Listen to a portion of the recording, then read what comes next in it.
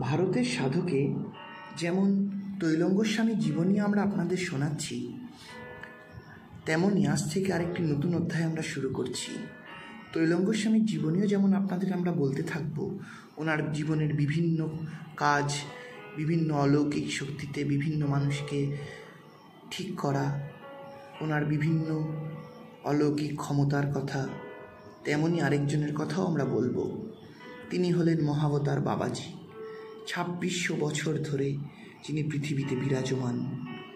অনেকেই ওনার নাম শোনেননি। উনি হলেন শ্যামাচরণ লাহিড়ী মহারাজের গুরুদেব, যিনি ক্রিয়াযোগে দীক্ষা দিয়েছিলেন শ্যামাচরণ লাহিড়ী মহারাজকে।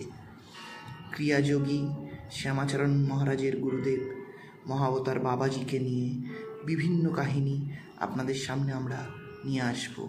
আমাদের চ্যানেলটি লাইক করুন সাবস্ক্রাইব করুন ও বন্ধুদের শেয়ার করুন।